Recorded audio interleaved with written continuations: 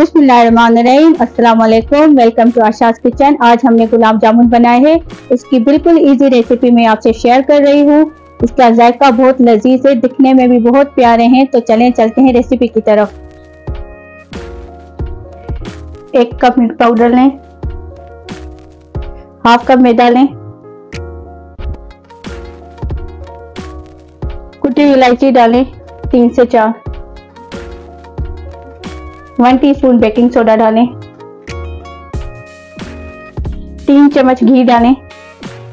Butter भी डाल सकते हैं। अब इसको मिक्स करें।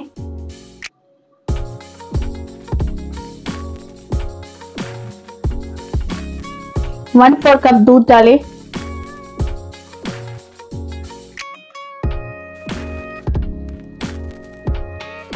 अब इसको 10 मिनट के लिए रेफ्रिजरेट में रख दें। अब शीरा रेडी करते हैं। एक कप शुगर लें।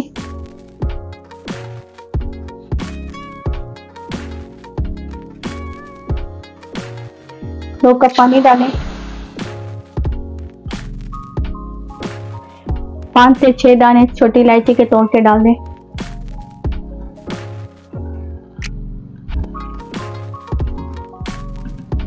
शीरा हमने तीन से चार मिनट के लिए पकाना है। इसको एक या दो तार का नहीं बनाना, क्योंकि मिल्क पाउडर मिल्क पाउडर के हैं ना गुलाब जामुन, उसके लिए पतला शीरा बनाना है। वन टीस्पून लेमन जूस डालें। अब इसको स्लो फ्लेम पर छोड़ दें। दस मिनट हो गए, अब हम चेक करेंगे।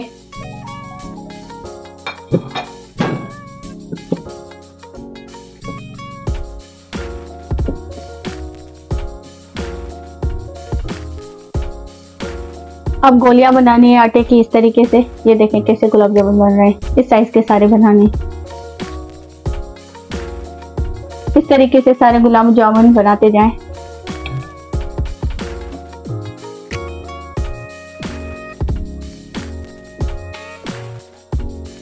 ये देखें गुलाब जामुन रेडी हो गए, ये पंद्रह गुलाब जामुन हमने बनाए हैं।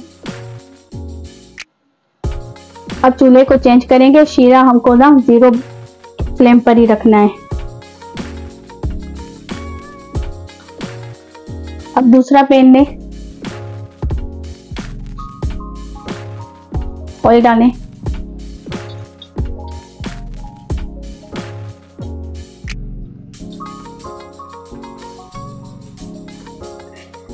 अब गुलाब जामुन डालते जाएँ। लो फ्लेम पर इनको पकाना है।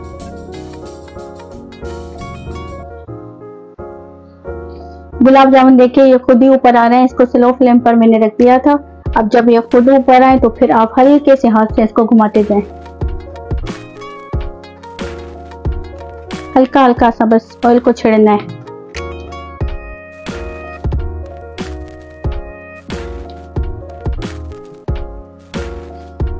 इस तरीके से भी आप घुमा सकते हैं।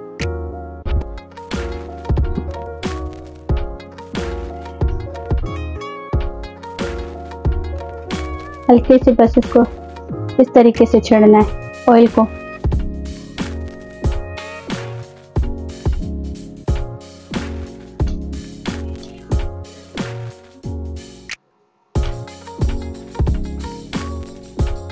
चमचा हिलाते रहेंगे तो कलर सबका सेम हो जाएगा।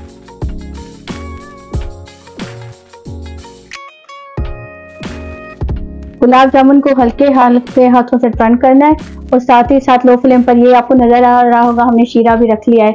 उसकी आँच बंद नहीं करनी। उसको लो फ्लेम पर रखना ही है।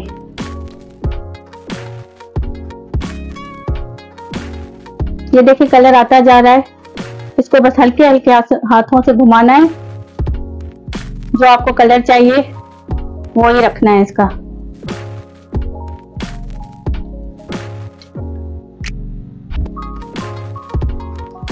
हल्के हल्के हाथों से घुमाते जाएँ? ये देखें, इसका कितना प्यारा कलर आया, अब हम इसको निकाल लेंगे।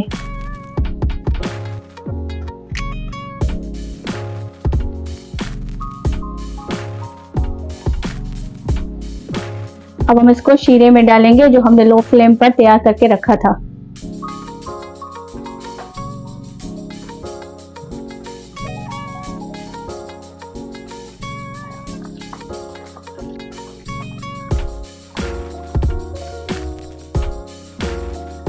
अब गुलाब जामुन को 10 से 15 मिनट शीरे में छोड़ दें।